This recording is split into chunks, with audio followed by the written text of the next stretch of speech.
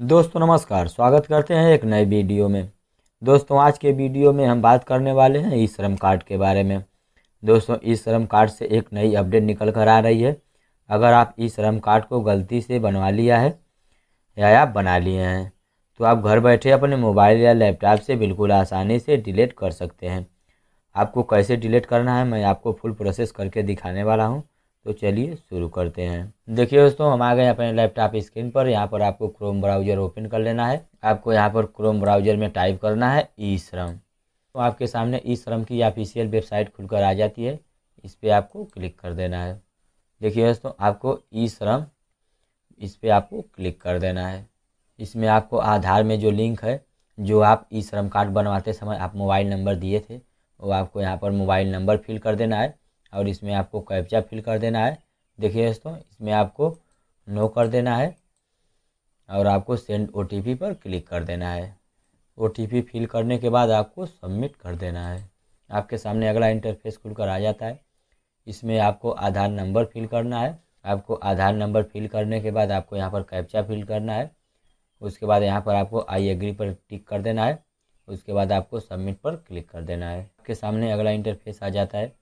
This Aadhaar is already registered on eShram portal. To update profile और download UN card please click आपको इस पर click कर देना है। आपके सामने अगला इंटरफेस खुलकर आ जाता है।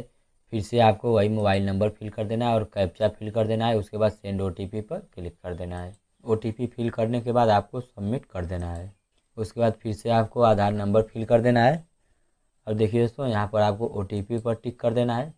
उसके बाद आपको यहाँ पर कैप्चा फिल कर देना है, उसके बाद आपको सबमिट कर देना है। जो आपके आधार नंबर में मोबाइल नंबर लिंक है, उस पर एक ओटीपी जाएगा, आपको यहाँ पर ओटीपी फिल कर देना है, उसके बाद आपको वैलिडेट पर क्लिक कर देना है। आपके सामने अगला इंटरफेस खुलकर आ जाता है your personal particular as per आधार। देखिए दोस्तों, आपकी पूरी डिटेल आपके सामने आ जाती है।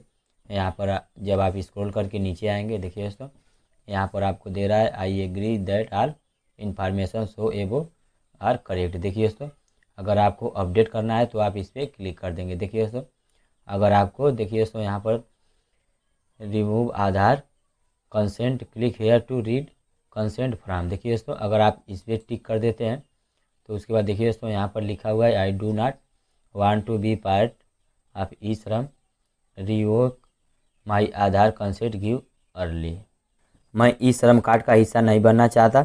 पहले दी गई मेरी जानकारी सहमति को निरस्त करें।